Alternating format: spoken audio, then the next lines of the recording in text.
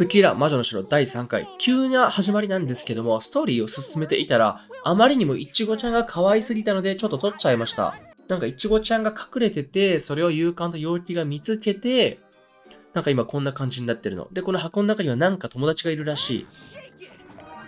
ああ。魔導士くんね。魔導士くんなんかすごい荒々しかったけど。これでクッキーランキングダムの最初のメンバー3人は揃ったね。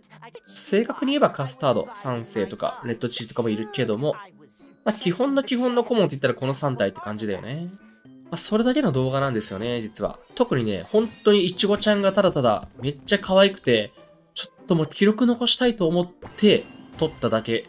なのでちょっとストーリーね、進めていこうかなと。ただなんかそういえばお知らせに来てたんだけど、このクッキーラン魔女の城っていうアプリで、まあ、なんか評価がね、結構微妙なところだったり、だか難しすぎるとか、まあ、ガチャの仕様についてとか、まあ、こんな感じでね、公式から今後の計画に関する事前のご案内っていうことで、まあ、いろんな意見が送られましたよっていうことで、ま、安定化のアップとイベント進行が難しい箇所に関しては一部解決されましたが、ま、これはどうなんだろうね。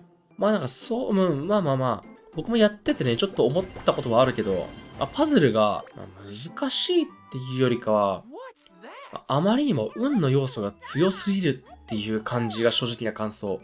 80ぐらいかな ?80 ぐらいから少ない移動回数で結構無茶なことをしてくださいよっていうパズルがあるんですけども、そのパズルが難しいっていうよりかは、ブーストアイテムみたいな、ロケットとか爆弾とか全消しとかのアイテムを作らなきゃクリア無理じゃねっていう感じ。で、それがパズルっていうよりかはもう落ちてくるやつとかの運っていう感じなんだよね。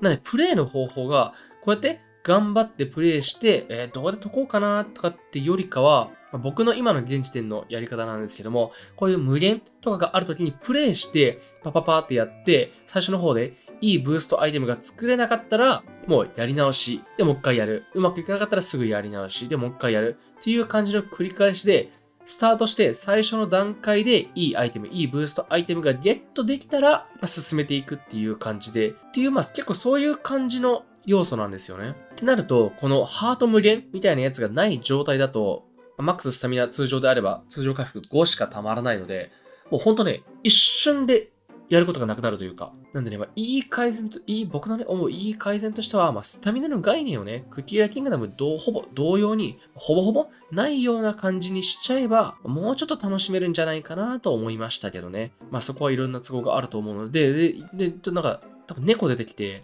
多分これがね、ボス戦っぽいんで、ちょっとやります。いろんなクッキーさっきゲットしたからガチャで。まあ、スパークリング、ちょっと使ってみようかなと思います。横に7マス。ブロックを消すみたいな、そんな感じの能力だと思います。やりたかったボスバトル。まあ、相手がこういう猫とかなんだ。ああ、クッキーの仲間が。陽気なクッキーは結構ね、あ、でも本当に缶詰投げつけるんだ。缶詰の周りのゼリータップして猫を攻撃しよう。あれ？これバグってる？もしかして。あ、バグってないわ。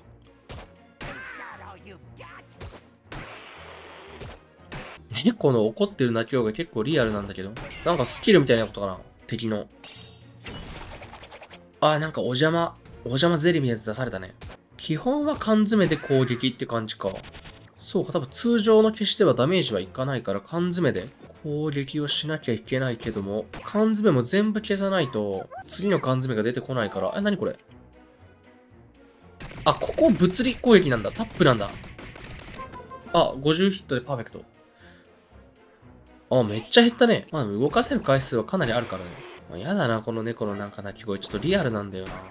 3回目の攻撃もあるんだ。もしかしたらこれは、ボスによって違うのかもしれないね。これ消したら終わりか。あ、やばい。移動回数が何気に少ない。あ、やばいやばいやばい。あ。足りる？足りてる？足りたか。